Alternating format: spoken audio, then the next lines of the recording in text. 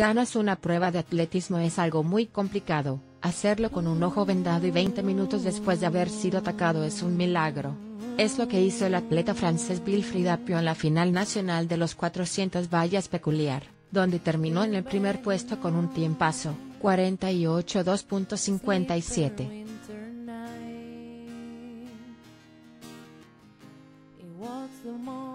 El atleta consiguió la quinta mejor marca nacional, la mínima mundialista y su récord personal. Sin embargo, esto adquiere más mérito teniendo en cuenta que 20 minutos antes del inicio de la prueba fue atacado.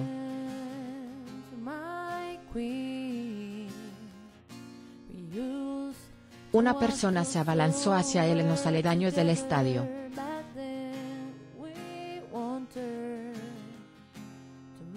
Según explica su entrenador Olivier Vallis, Apio se encontraba a 500 metros del estadio de Caen cuando un hombre se le acercó, y tras preguntarle si era Wilfried Apio, y la afirmación de este se abalanzó sobre el deportista hasta que el entrenador consiguió separarlo.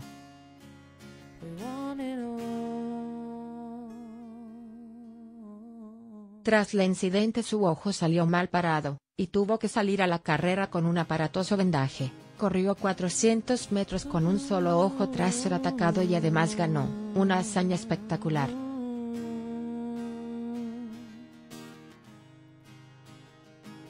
No quiero pararme a hablar de eso, el caso está en proceso y hay gente competente con ello.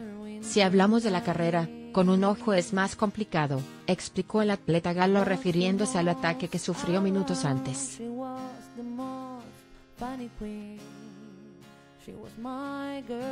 Apio tampoco parecía muy alterado por el incidente ya que al ganar la carrera parece que hizo borrón y cuenta nueva. Las sensaciones fueron buenas, estoy feliz por lograr la mínima porque cumplo con la temporada.